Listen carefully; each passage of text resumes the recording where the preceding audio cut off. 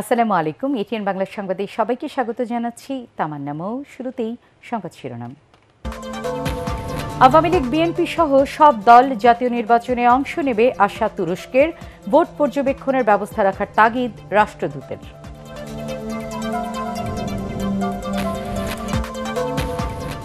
নির্বাচন নিয়ে বিদেশি রাষ্ট্রদূতদের ভেবে চিনতে কথা বলা উচিত, মন্তব্য ইসি আনিসুর রহমানের।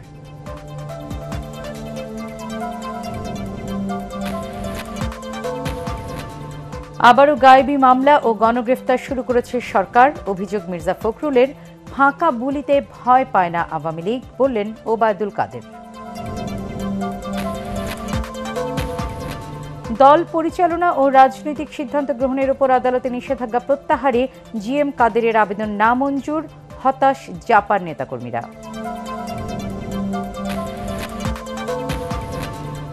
এবং সারা দেশে ধর্ষণ সহ নারী নির্যাতন বেড়েছে। মহিলা পরিষদের তথ্য বছরের সাত মাসেই ভেঙেছে গেল পাঁচ বছরের রেকর্ড। শুনছিলেন সংবাদ শিরোনাম। এবার পুরো সংবাদ। আগামী জাতীয় নির্বাচনে আওয়ামী লীগ, বিএনপি সহ সব রাজনৈতিক দল অংশ নেবে এমনটাই প্রত্যাশা তুরস্কের। রাজধানীর গুলশানে একটি হোটেলে মিট দ্য অ্যাম্বাসেডর অনুষ্ঠানে এ কথা জানান দেশটির রাষ্ট্রদূত মোস্তফা ওসমান তুরান।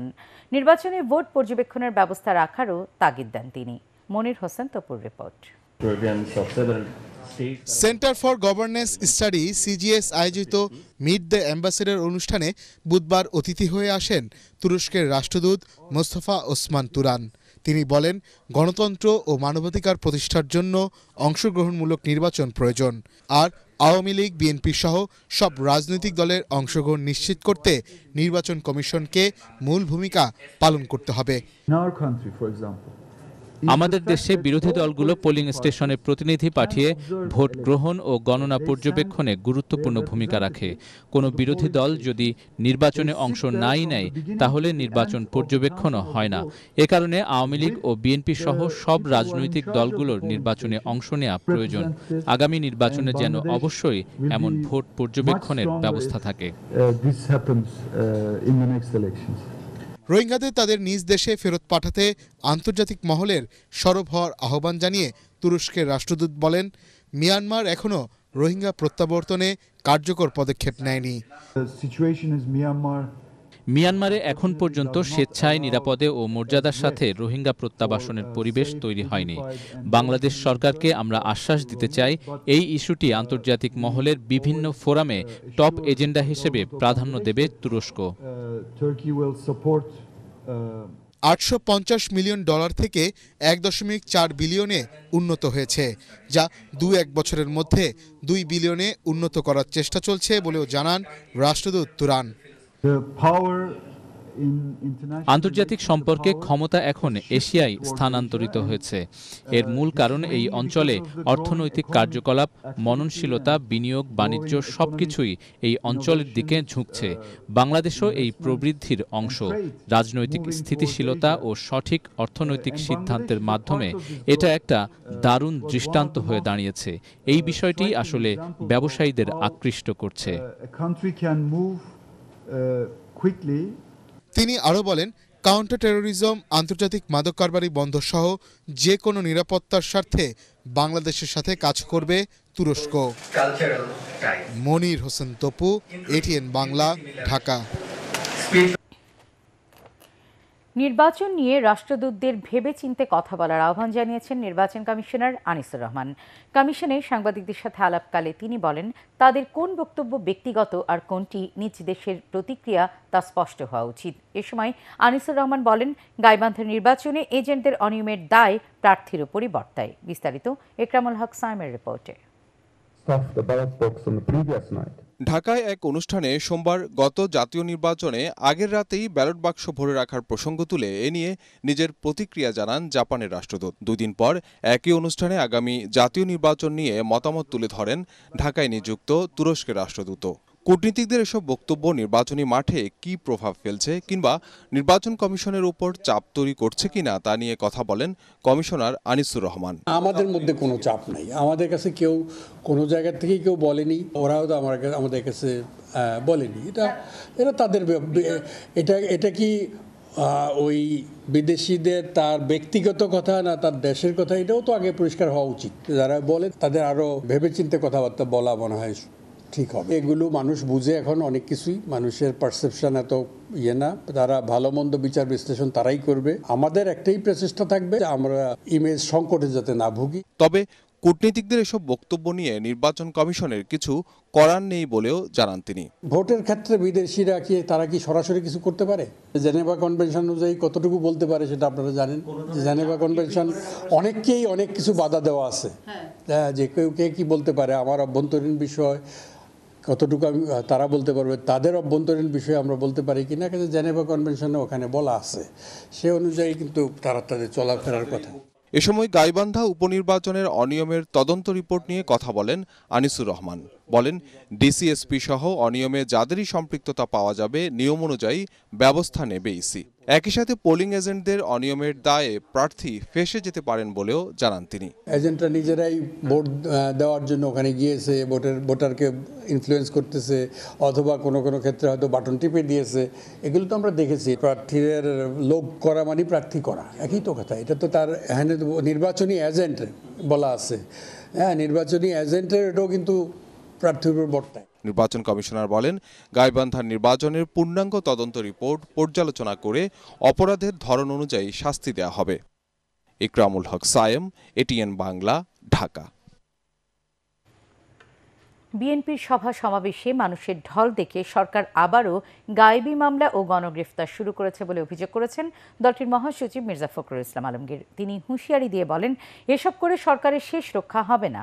জাতীয় প্রেস ক্লাবে আলোচনা সভায় গণতন্ত্র ও ভোটাধিকার ফিরে পেতে কোনো আপোষের সুযোগ নেই বলেও জানিয়ে দেন মির্জা ফখরুল। মইনুল হাসানের রিপোর্ট। যারা মঞ্চে বসে আছেন মৌলানা আব্দুল হামিদ খান ভাসানীর মৃত্যুবার্ষিকী উপলক্ষে জাতীয় প্রেস ক্লাবে আলোচনা সভার আয়োজন করে বিএনপি। মহাসচিব সহ সিনিয়র নেতারা মৌলানা ভাসানীর রাজনৈতিক জীবন ও স্বাধীনতা সংগ্রামে তার নানা অবদানের কথা তুলে ধরে বলেন, নির্যাতিত নিপীড়িত মানুষের অধিকার আদায়ে আজীবন সংগ্রাম করে গেছেন তিনি। মির্জা ফখরুল ইসলাম আলমগীর বলেন, শুধুমাত্র ক্ষমতায় থাকার জন্য আওয়ামী লীগ মুক্তিযুদ্ধের সব অর্জনকে ধ্বংস করে দিয়েছে। এখানে সবচেয়ে বড় প্রয়োজন যেটা রয়েছে এখন, ত্যাগ। ত্যাগ করেই আমাদেরকে এগুতে হবে। এবং এই, এইটা কেন? কারণ আমার দেশকে রক্ষা করার সমস্যা এসে গেছে এখন। তার স্বাধীনতার সার্বভৌমত্বকে রক্ষা করা, তার গণতন্ত্রকে রক্ষা করা। কে কি বলছে, খেলা বলছে না কি বলছে বলতে দিন আমরা আমাদের লক্ষ্যে অটল থাকব, অটুট থাকব। আমরা এই, এইবার আমাদেরকে এই বিজয় অর্জন করতে হবে। এর কোনো বিকল্প নেই। বিএনপির বিভাগীয় গণসমাবেশে সাধারণ মানুষের অংশগ্রহণ দেখে সরকার ভীত হয়ে আবারও নির্যাতন নিপীড়নের পথ বেছে নিয়েছে বলে অভিযোগ করেন বিএনপি মহাসচিব। এই সমাবেশগুলোতে যোগ দিচ্ছে কারা? দেখবেন লুঙ্গি পরে আসছে, হাতে একটা ব্যাগ নিয়ে আসছে, এবং তিন দিনের প্রস্তুতি নিয়ে এসছে চিরামুড়ি গুড় নিয়ে। এসে তারা এই সমাবেশকে সফল করছে তিন দিন খোলা আকাশের নিচে থেকে। এটা অভূতপূর্ব ব্যাপার। এরা কত কাপুরুষ, কাওয়ার্ড দেখেন। যে এই সমাবেশগুলো হচ্ছে, প্রত্যেকটা সমাবেশ কত শান্তিপূর্ণ? কোথাও কোনো রকম কোনো সমস্যা হচ্ছে না। এর মধ্যেও তারা আমাদের পাঁচশোর অধিক মানুষকে গ্রেপ্তার করে ফেলেছে। মিথ্যা মামলা দিচ্ছে, আবার গায়েবী মামলা দেওয়া শুরু হয়েছে। এতে করে রোখা যাবে না তো? তো তীব্র আগ্নেয়গিরির মতো সব ফুসে উঠছে মানুষ। এটাই ফুসে উঠবে এবং এই ফুসে ওঠার মধ্য দিয়েই এই সরকারের পতন হবে।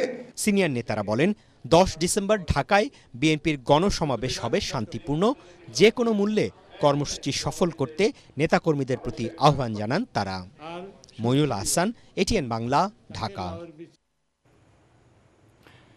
বিএনপির ফাঁকা বুলিতে আওয়ামী লীগ ভয় পায় না বলে মন্তব্য করেছেন আওয়ামী লীগ সাধারণ সম্পাদক ওবায়দুল কাদের। বরগুনা সার্কিট হাউস ময়দানে জেলা আওয়ামী লীগের ত্রিবার্ষিক সম্মেলনে তিনি বলেন, পদ্মা সেতু সহ মেগা প্রকল্পের কাজ শেষ হওয়ায় বিএনপির গাত্রদাহ হচ্ছে।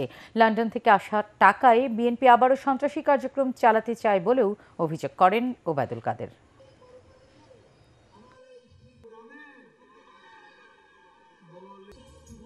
কাপুরুষ কি আওয়ামী লীগ না বিএনপি? কাপুরুষ বিএনপি, হালের নেতা, হাওয়া ভবনের যুবরাজ, বসে আছে টেমস নদীর পাড়ে আর বস্তা নয় মাস্টার দুবাই থেকে টাকা পাঠাচ্ছে, টাকা উড়ে আকাশে, টাকা উড়ে বাতাসে। দল পরিচালনা ও রাজনৈতিক সিদ্ধান্ত গ্রহণ থেকে বিরত থাকতে হচ্ছে জাতীয় পার্টির চেয়ারম্যান গোলাম মোহাম্মদ কাদেরকে। তার উপর অস্থায়ী নিষেধাজ্ঞা প্রত্যাহারের আবেদন নামঞ্জুর করেছেন আদালত। ঢাকার প্রথম যুগ্ম জেলা জাজ আদালতের বিচারক মাসুদুল হক এই আদেশ দেন। এতে হতাশ জাতীয় পার্টির নেতাকর্মীরা। হুমায়ুন চিস্তি জানাচ্ছেন বিস্তারিত। জাপা চেয়ারম্যানের উপদেষ্টা ও সাবেক সংসদ সদস্য জিয়াউল হক মৃধার আবেদনের প্রেক্ষিতে গত একত্রিশ অক্টোবর জিএম কাদেরের উপর অস্থায়ী নিষেধাজ্ঞা দেন আদালত। ওই আদেশে বলা হয়, জিএম কাদের দলের বিষয়ে কোনো রাজনৈতিক সিদ্ধান্ত নিতে পারবেন না। পরে নিষেধাজ্ঞা প্রত্যাহারের আবেদন জানান জিএম কাদেরের আইনজীবী। শুনানি শেষে বুধবার আবেদন খারিজ করে দেন আদালত।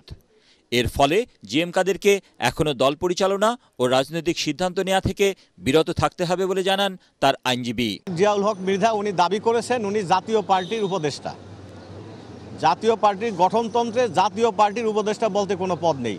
তিনি চেয়ারম্যানের উপদেষ্টা হওয়ার পরেও মিথ্যা তথ্যের ভিত্তিতে নিজেকে জাতীয় পার্টির উপদেষ্টা দাবি করে এই মামলাটি দায়ের করেছেন। নিষেধাজ্ঞা প্রত্যাহার না করায় হতাশ জাতীয় পার্টির নেতাকর্মীরা। তারা বলছেন ষড়যন্ত্র করে জাতীয় পার্টির অগ্রযাত্রাকে ব্যাহত করার চেষ্টা চলছে। রাজনৈতিকভাবে আসলেই আমরা পিছিয়ে গেছি এই স্থগিতের কারণে। ষড়যন্ত্রমূলকভাবে রাজনৈতিকভাবেই আমরা বলতে পারি যেটা আহ, করা হয়েছে। ওনাকে শৃঙ্খলিত করার একটা উপায় হিসাবে এই ধরনের একটি ষড়যন্ত্র করে মিথ্যা মামলা দায়ের করা হচ্ছে। আমরা যত ষড়যন্ত্র হোক জেএম কাদের হাতকে শক্তিশালী করার জন্য আমরা এই ষড়যন্ত্র প্রতিহত করব। জাপা চেয়ারম্যানের সাবেক উপদেষ্টা জিয়াউল হক মৃধাকে গত সতেরো সেপ্টেম্বর দল থেকে বহিষ্কার করা হয়। পরে বহিষ্কারাদেশ চ্যালেঞ্জ করে মামলা করেন তিনি। হুমায়ুন চিস্তি এটিএন বাংলা ঢাকা।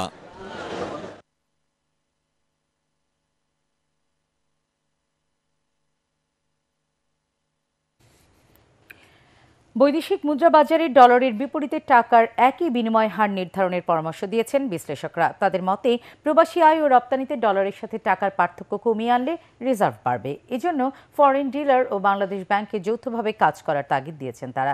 এতে হুন্ডি ও অসাধু মানি এক্সচেঞ্জ ব্যবসায়ীরা সুযোগ নিতে পারবে না বলে মনে করেন অনেকেই। শেরফুল আলমের রিপোর্ট।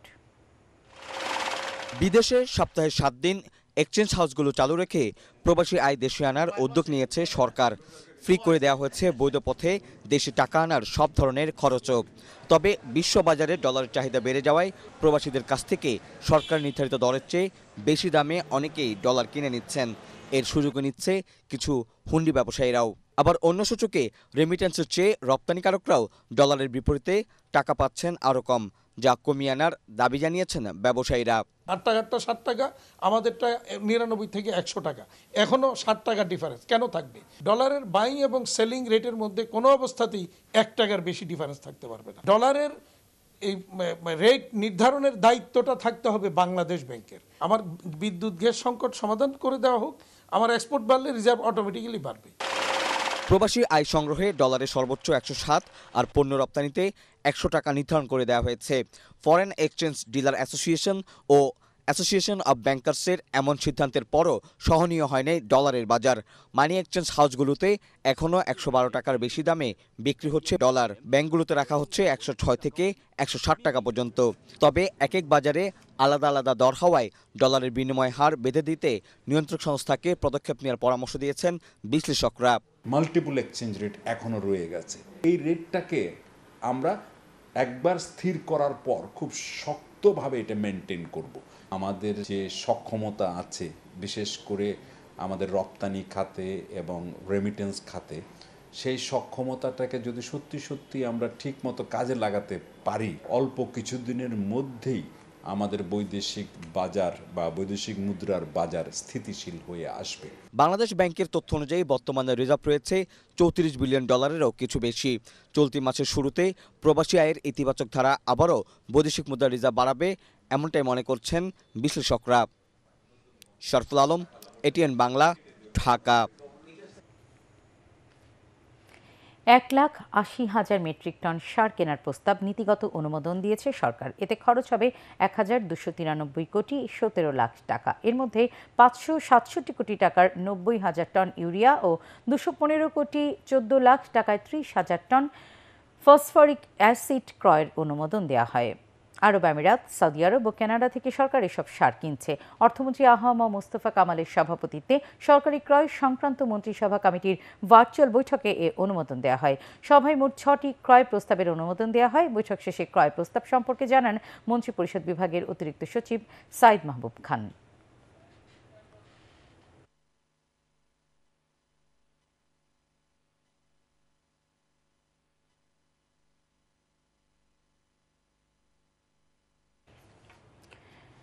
সারা দেশে ধর্ষণ সহ নারী নির্যাতনের ঘটনা বেড়ে গেছে বলে জানিয়েছে বাংলাদেশ মহিলা পরিষদ। তাদের হিসেবে গত পাঁচ বছরের রেকর্ড ভেঙেছে, চলতি বছরের সাত মাসেই যা শিকার শিশু ও প্রাপ্তবয়স্ক নারীরা। মহিলা পরিষদ আয়োজিত সংবাদ সম্মেলনে এ তথ্য জানানো হয়। রাবে আক্তার, সুবর্ণার রিপোর্ট। প্রতিদিনই দেশের বিভিন্ন স্থানে ধর্ষণের ঘটনা ঘটছে। শুধু গণপরিবহনেই নয়, নিকট আত্মীয় কিংবা কর্মক্ষেত্রেও ধর্ষণের শিকার হচ্ছেন অনেক নারী ও শিশু।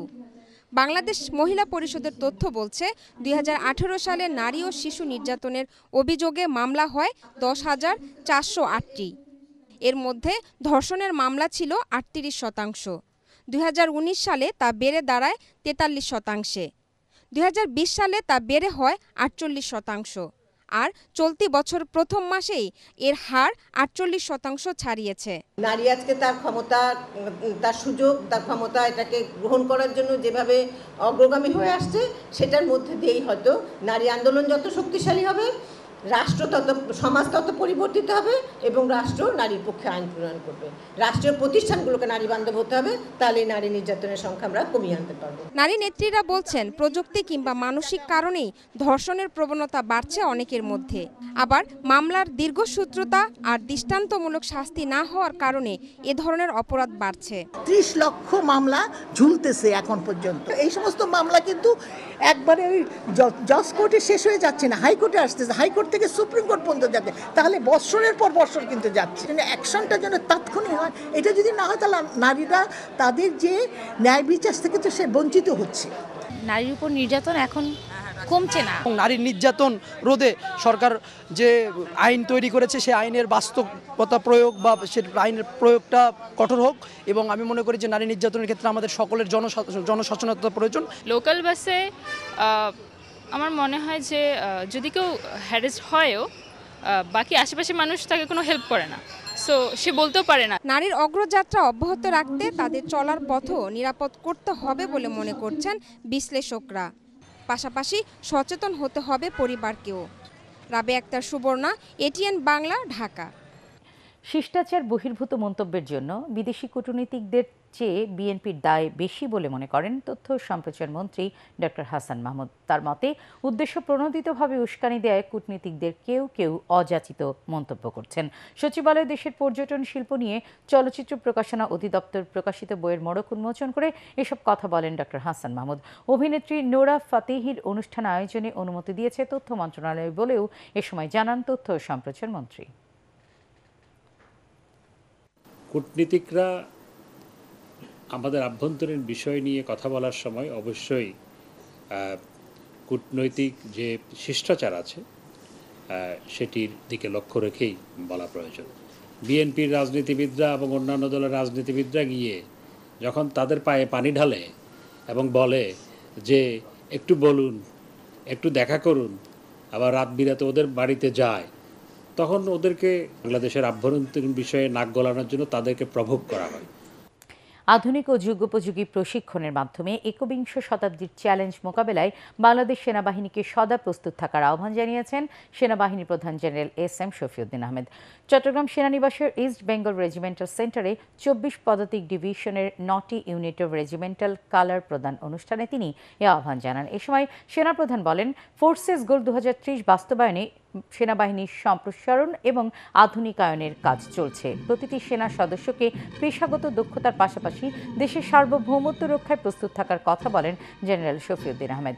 এর আগে ইস্ট বেঙ্গল রেজিমেন্টাল সেন্টারের এম আর চৌধুরী প্যারেড গ্রাউন্ডে সেনাপ্রধান এসে পৌঁছলে আর্মি ট্রেনিং অ্যান্ড ডক্ট্রিন কমান্ডের GOC lieutenant general Ahmed Tabrez Shams Chowdhury চব্বিশ পদাতিক ডিভিশনের জিওসি ও area commander, Chattogram area major general Mizanur Rahman Shamim তাকে স্বাগত জানান।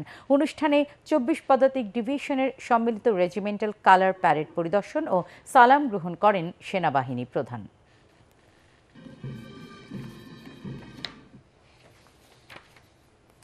আলারাফা ইসলামী ব্যাংক, অর্থ সংবাদ।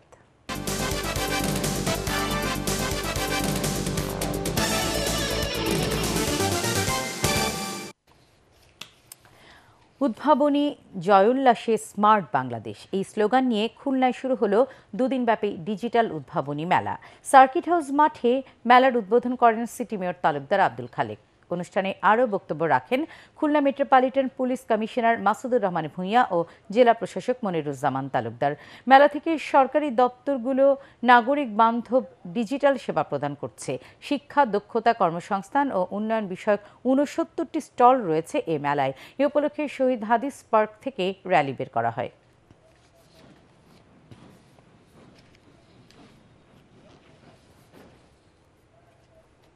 ব্যবসা ও বিনিয়োগ বৃদ্ধি করতে বাংলাদেশ ও সিঙ্গাপুরের মধ্যে একটি সমঝোতা হয়েছে। এ সমঝোতার আওতায় দুদেশের মধ্যে বাণিজ্য ও বিনিয়োগ বাড়াতে ষোলোটি বিশেষ খাতকে চিহ্নিত করা হয়েছে। পাট ও পাটজাত পণ্য, কৃষি, নবায়নযোগ্য জ্বালানি, চামড়া, ডিজিটাল ইকোনমি পর্যটন সহ বিভিন্ন খাতে দুদেশের মধ্যে বাণিজ্য বৃদ্ধির জন্য কাজ করা হবে। সচিবালয়ে বাংলাদেশ সফররত সিঙ্গাপুরের বাণিজ্যমন্ত্রী জ্যাম কিম ইয়ানের সাথে বাণিজ্যমন্ত্রী টিপু মুন্সির দ্বিপাক্ষিক বৈঠকের পর দুদেশের মধ্যে সমঝোতা চুক্তি সই হয়। প্রধানমন্ত্রী শিল্প ও বেসরকারি বিনিয়োগ বিষয়ক উপদেষ্টা সালমান এফ রহমান এ সময় অন্যান্যের মধ্যে উপস্থিত ছিলেন। সিলেটের ফেঞ্চুগঞ্জে ফলের বাগান করে সফল হয়েছেন কৃষক সিরাজুল ইসলাম। নিজ বাড়ির আঙিনায় নয় একর জমিতে কলা, মাল্টা, লেবু ও কমলা সহ বিশ থেকে ত্রিশ ধরনের ফলের গাছ লাগিয়ে নিয়মিত ফল বিক্রি করছেন তিনি। বাগান থেকে এখন পর্যন্ত চোদ্দ লাখ টাকার মালটা বিক্রি হয়েছে বলে জানিয়েছেন সফল এই চাষি। দুপুরে সিরাজুল ইসলামের ফল বাগান পরিদর্শন করেন সিলেট বিভাগীয় কমিশনার ডক্টর মোহাম্মদ মোশাররফ হোসেন। কৃষি সম্প্রসারণ অধিদপ্তরের ঊর্ধ্বতন কর্মকর্তারা এ সময় উপস্থিত ছিলেন। ইস্পাহানি শেয়ারবাজার সংবাদ।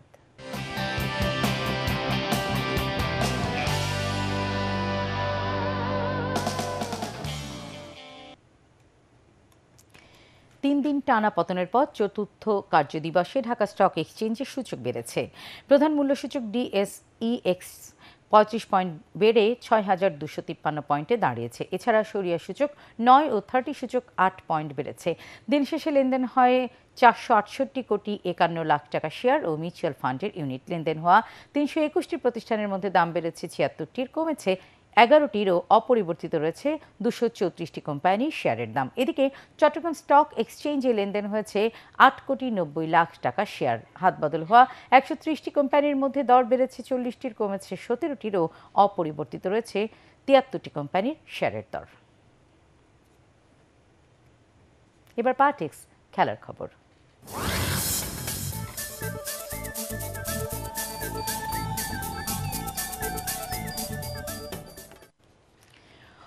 অনুশীলনে চোট পাওয়ায় কাতার বিশ্বকাপে খেলার স্বপ্ন শেষ হয়ে গেল ফ্রান্সের ফরওয়ার্ড ক্রিস্টোফার এনকুনুর। অনুশীলনের সময় এদুয়ার্দো কামাভিঙ্গার সঙ্গে বল দখল করতে গিয়ে আহত হন লাইভ জিগের striker Nkunku. France football federation জানিয়েছে এনকুনোর বা হাঁটুর লিগামেন্টের তন্তু ছিঁড়ে গেছে। এর আগে দলের দুই মিডফিল্ডার পল পগবা ও এনগোলো কান্তে চোটের কারণে বিশ্বকাপ থেকে ছিটকে পড়েন। কাতার বিশ্বকাপ শুরু হবে বিশ নভেম্বর। তার আগেই বেশ কয়েকটি ধাক্কা হজম করতে হলো বিশ্বকাপের বর্তমান চ্যাম্পিয়নদের। বিশ্বকাপের অল টাইম ফেভারিট ব্রাজিল আক্রমণ দিয়েই প্রতিপক্ষকে কাবু করতে চায় ইটালির তুরিনে। এখন অনুশীলন করছে তিতের দল। চব্বিশ নভেম্বর সার্বিয়ার বিপক্ষে খেলা দিয়ে হেক্সা জয়ের মিশন শুরু করবেন নেইমার থিয়াগো সিলভারা। সে লক্ষ্যে নিজেদের শেষ সময়ের প্রস্তুতিতে ব্যস্ত তারা। পরাগারমানের রিপোর্ট। বিশ্বকাপে বরাবরই ফেভারিট ব্রাজিল। এবারও নেইমার রাফিনহারা তার ব্যতিক্রম নন। বিশ্বকাপের হেক্সা জয়ের আশা তাদের। ইটালিতে চলছে অনুশীলন। উনিশ নভেম্বর কাতারে আসবে সেলেসাওরা। গত বিশ্বকাপে আসা জাগিয়েও বেলজিয়ামের কাছে হেরে কোয়ার্টার ফাইনাল থেকেই ফিরতে হয়েছিল ব্রাজিলকে। খোল নলচে পাল্টে তারুণ্য নির্ভর দল গঠন করেছেন সেলেসাউদের কোচ তিতে। প্রতিপক্ষকে কাঁপিয়ে দিতে দলে নিয়েছেন নয়জন ফরওয়ার্ড তাছাড়া নেইমারকে কেন্দ্র করেই সেলেসাউদের যাবতীয় আক্রমণ। পরের বিশ্বকাপ খেলবেন কিনা নেইমার জানা নেই। তাই বলা যায়, তিরিশ বছরের নেইমারের বিশ্বকাপ ট্রফি জয়ের এটাই শেষ সুযোগ। আর ব্রাজিলই একমাত্র দল যারা কখনো বিদেশি কোচের অধীনে খেলেনি। তিতের অধীনে ছিয়াত্তরটি ম্যাচের আটান্নটিতে জিতেছে সেলেসাওরা। তিতে শুধু আক্রমণ নয়, নিজেদের রক্ষণেও মনোযোগী এবার। চার দুই তিন এক ফরমেশনই তার অধিক প্রিয়। সবচেয়ে বেশি পাঁচবার বিশ্ব চ্যাম্পিয়ন হয়েছে ব্রাজিল। দুই হাজার দুই সালে এশিয়ার প্রথম বিশ্বকাপের শিরোপা জিতেছিল সেলেসাওরাই। বিশ বছরের অপেক্ষা শেষে আবারও বিশ্ব চ্যাম্পিয়ন হতে পারবে কিনা ব্রাজিল, সেটা সময়ই বলে দেবে। পরাগামান এটিএন বাংলা। দৈনিক কালবেলাকে এক শূন্য গোলে হারিয়ে ডিআরইউ মিডিয়া কাপ ফুটবলের কোয়ার্টার ফাইনালে উঠল এটিএন বাংলা। সকালে Shahid captain M Mansur Ali handball স্টেডিয়ামে গোল শূন্যভাবে শেষ হয় খেলার প্রথমার্ধ। এরপর দ্বিতীয়ার্ধের শুরুতেই দুর্দান্ত এক গোল করে দলকে এগিয়ে দেন ম্যাচ সেরা কামরুজ্জামান রাজীব। শেষ পর্যন্ত এক গোলের জয়ে টুর্নামেন্টের শেষ আটের টিকিট নিশ্চিত করে এটিএন বাংলা। বৃহস্পতিবার সকালে সেমিফাইনালে ওঠার লক্ষ্যে এটিএন বাংলা মুখোমুখি হবে এখন টিভির।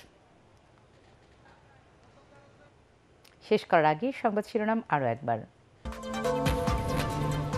আওয়ামী লীগ, বিএনপি সহ সব দল জাতীয় নির্বাচনে অংশ নেবে আশা তুরস্কের ভোট পর্যবেক্ষণের ব্যবস্থা রাখার তাগিদ রাষ্ট্রদূতের।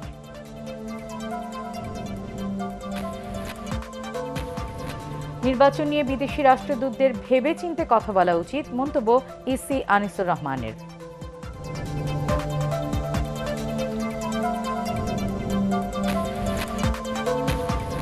আবারও গায়েবী মামলা ও গণগ্রেফতার শুরু করেছে সরকার। অভিযোগ মির্জা ফখরুলের ফাঁকা বলিতে ভয় পায় না আওয়ামী লীগ, বললেন ওবায়দুল কাদের।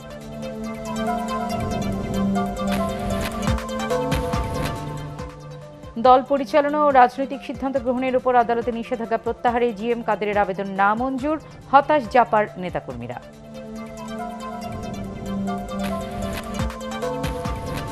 এবং সারা দেশে ধর্ষণ সহ নারী নির্যাতন বেড়েছে মহিলা পরিষদের তথ্য। বছরের সাত মাসেই ভেঙেছে গত পাঁচ বছরের রেকর্ড।